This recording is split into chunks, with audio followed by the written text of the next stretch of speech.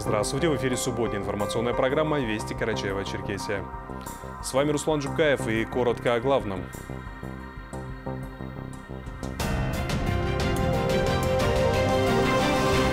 «27 миллионов виртуальных свечей зажгутся по всей стране. Акция «Свеча памяти» пройдет в этом году в режиме онлайн. Зажечь свечу памяти могут все желающие на сайте деньпамяти.рф.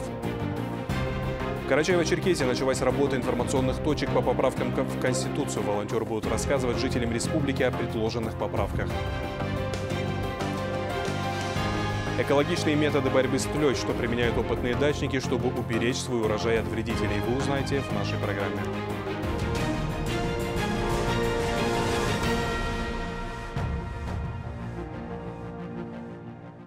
Приближается День памяти и скорби. Ежегодно в ночь на 22 июня в России пройдет акция «Свеча памяти», но в этом году в режиме онлайн. Зажечь свечу памяти могут все желающие на сайте деньпамяти.рф. Специальная кнопка размещена в правом углу экрана.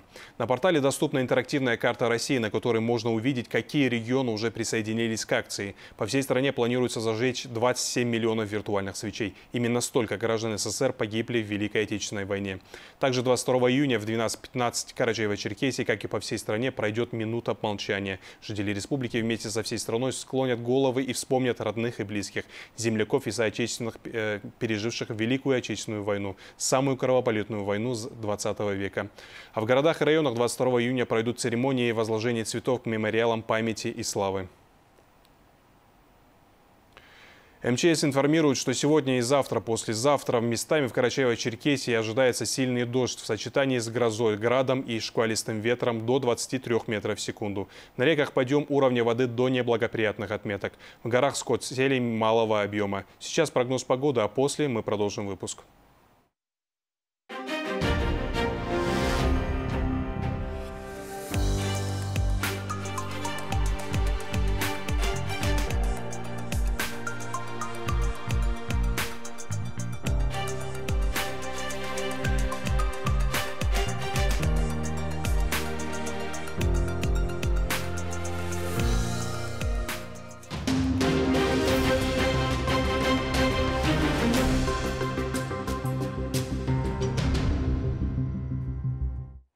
Карачаево-Черкесии свою работу начал волонтерский штаб «Волонтеры Конституции». Как мы говорили ранее, в Черкеске и в других муниципальных районах республики будет вестись работа по информированию населения о вносимых поправках. Подробности в нашем репортаже. 15 июня волонтерский корпус «Волонтеры Конституции» начал свою деятельность. Работа корпуса направлена на информационное освещение вносимых изменений в Конституцию Российской Федерации, которая была утверждена в 1993 году. С сегодняшнего дня э, на 11 объектах города Черкеска, а также дополнительных еще 8 объектах э, по республике начинают работу свою информационные точки э, волонтеры Конституции. У нас есть очень несколько очень важных направлений, одно из которых это информирование населения о том, что 1 июля состоится голосование на избирательных участках, а также о том, какие же поправки в Конституцию у нас вносятся. На информационных точках будут работать волонтеры штаба. Для всех желающих они будут рассказывать о главных вносимых поправках в Конституцию. Также граждане могут получить информационные флайера, где подробно рассказано о каждой поправке. Волонтеры Конституции уверены, что поправки важны и имеют большое значение для дальнейшего развития нашей страны. На данный момент создается история нашего государства. Мы, волонтеры, хотели внести свой вклад, а также стать частью истории нашего государства. В чем заключается задача волонтера да, задача волонтера, наша работа заключается в информировании населения о том, что 1 июля будут проходить выборы Конституции, а также как, куда и с чем приходить на выборы. Мы информируем людей, какие именно поправки будут вноситься в нашу Конституцию. Работа информационных точек продлится до 1 июля включительно. Также с 24 июня начнется процесс голосования на дому для пожилых и маломобильных граждан. Все будет проходить в соблюдении всех мер защиты. У нас э, волонтерский состав разбился на две группы. Э, одна из них занимается информационной работой на данных точках, другие занимаются обзвоном людей э, через приложение «Мы вместе» для того, чтобы упростить процедуру голосования для тех, кто не может прийти на избирательный участок.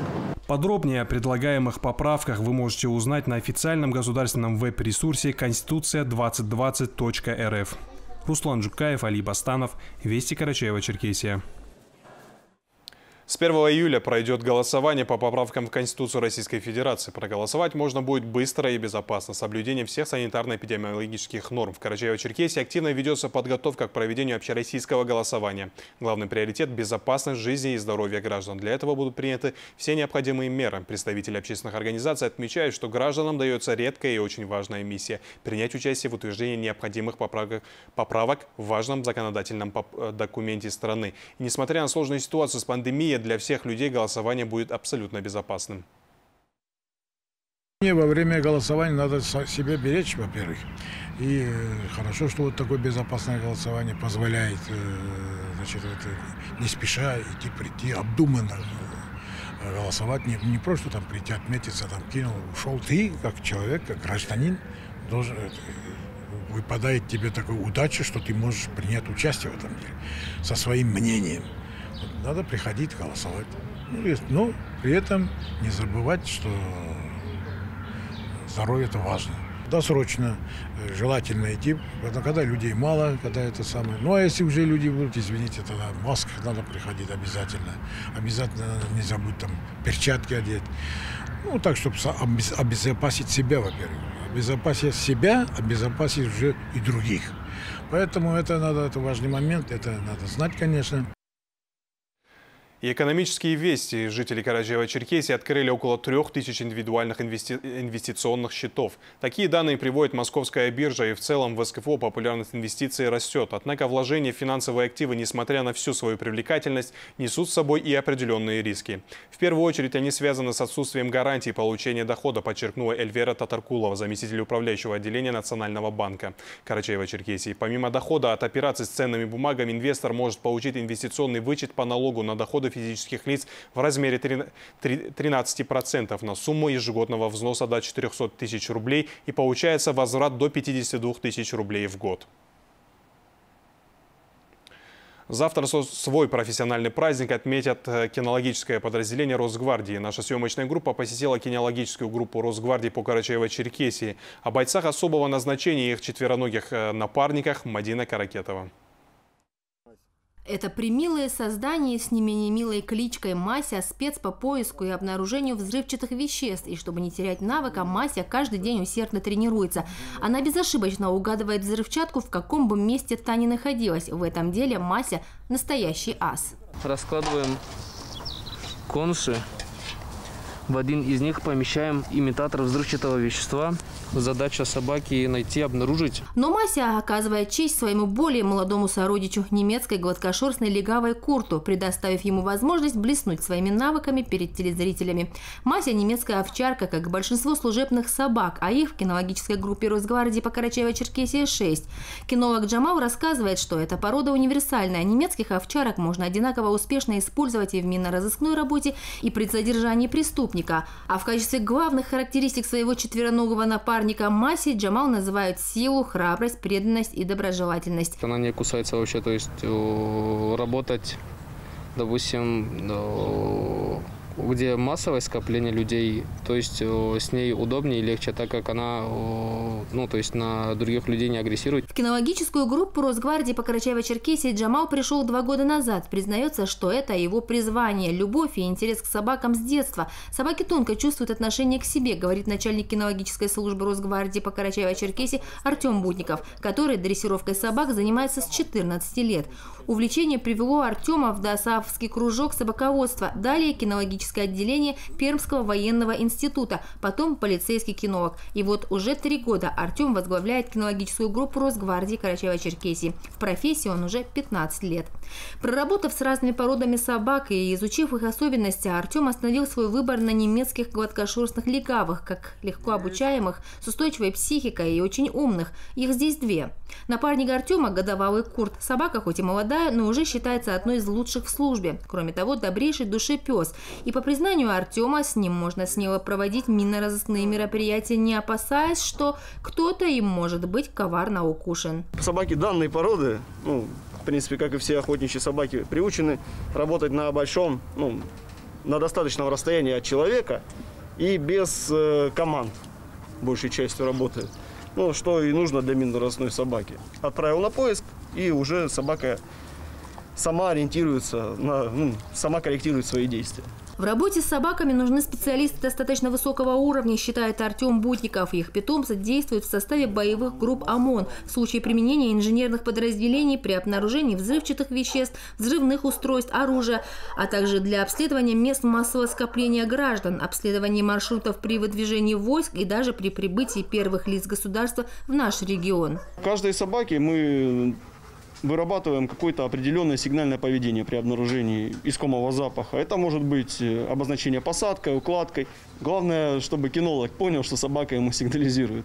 У каждого кинолога свой напарник, поскольку каждая собака доверяет и слушается только своего хозяина. Собаки, как и люди, имеют каждая свой индивидуальный характер. И очень важно подобрать к сердцу четвероногого ключ. И дело не только в полных мисках. Каждой собаке надо подбирать свой подход. Какая-то собака позволяет с ней более жестко обращаться. И, например, вот э, крупные кобели немецких овчарок, если будешь давать много слабины, он будет э, считать, что он более главный в вашей паре человек-собака. В день служебную собаку дрессируют по 3-4 часа, кормят кормами премиум-класса в строгом соответствии со стандартами. Срок службы для собак крупных пород, например, немецких овчарок, от 8 до 10 лет, в некоторых случаях и до 12 лет.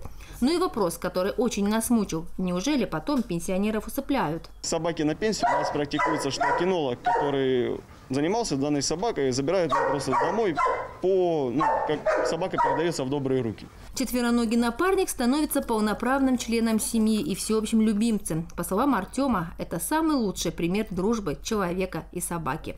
Мадина Каракетова, Мухаммед Ашибоков, Станислав Полянский, Вести Карачаева-Черкесия.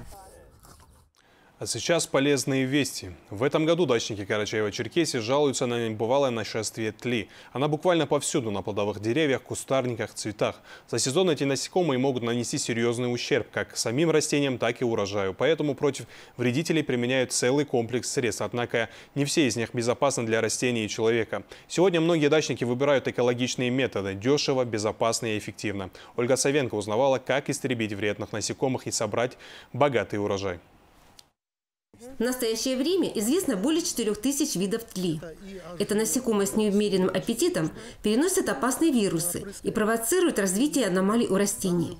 Молодые побеги замедляют рост, снижается плодообразование, растения чахнут и погибают. Если обрабатывать их агрессивными химическими средствами, то можно повредить нежные побеги. Поэтому лучше обратиться к проверенным временем народным методам. Именно так и поступает Виктор Жугин, опытный садовод-любитель. За десятки лет он перепробовал многие способы борьбы с различными вредителями.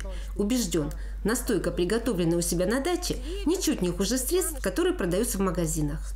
Вот и для борьбы с тлей есть собственный рецепт. Берем сыворотку, добавляем туда спирт, аммиак, по 2 столовых ложки настойки куркумы и нашатырного спирта – листья ореха, чистотел, по 10 капель йода, любых эфирных масел и обязательно раствор хозяйственного мыла. Можно сделать еще папоротник, листья папоротника. И получится вот такая жидкость. Но всего нужно ее 2 столовых ложки на 10 литров воды. Процеживаем раствор, наливаем в ведро и опрыскиваем поврежденные деревья. Лучше всего это делать или рано утром, или вечером, в безветренную погоду. Обычно для уничтожения тли хватает нескольких обработок. Так как раствор экологичный, меры предосторожности не нужны. Можно не верить в эффективность тех средств, которые приготовлены в домашних условиях. Однако опыт наших предков, многолетнее наблюдение Виктора Николаевича показывает, что они не менее эффективны, чем те средства, которые продаются в магазинах. Кроме того, это очень безопасно. Подошел к дереву, сорвал черешню и съел. Будьте здоровы! Ольга Савенко, Али Бастанов, Вести Карачаева, Черкесия. На этом субботний выпуск «Вестей» подошел к концу. Приятных выходных и всего доброго.